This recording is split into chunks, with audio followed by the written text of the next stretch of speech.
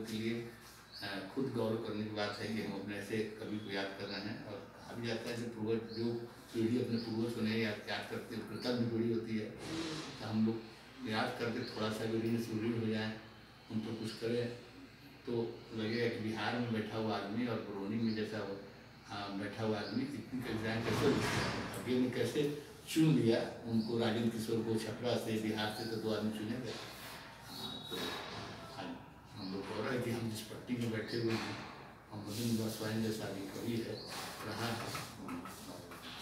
उस समय का बोध रहा है हमको लगता है कि वो समानांतर शब्द आप बताएँगे कि वो समानांतर उत्तर छायावाद का और दौर खत्म नहीं हुआ था शास्त्री जी लिख रहे थे गांधी लिख रहे थे मंचों पर बज रहे थे मदन वास्यान उसी समय वो नई कविता का भी समानांतर दौर आ गया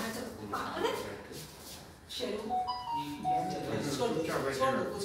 चुपचाप उनको अपना हम आज याद करते हैं हैं चुपचाप बैठेगा डिस्टर्ब कर रहा है हम- जी हम चाहेंगे कि चार पुत्र दस पुत्र दस पुत्री चार पुत्र किसी के लिए काफ़ी नहीं होता है। संतान एक एक योग्य है वो उसको पिता की स्मृति को विरासत को बढ़ाने के लिए काफ़ी होता है।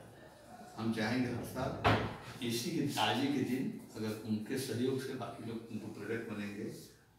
अगर वो उनके पिता के पर स्मृति व्याख्यान माला या उनके नाम पर पुरस्कार तो शुरू गए ना? पुरस्कार नहीं शुरू हुआ? पुरस्कार तो तो पिछले शुरू की थी ना?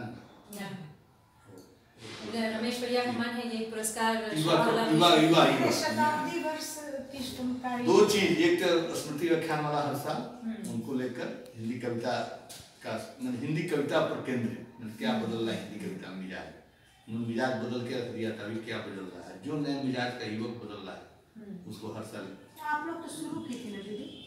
आप किसका शुरू किए? राम जीवन शर्मा जीवन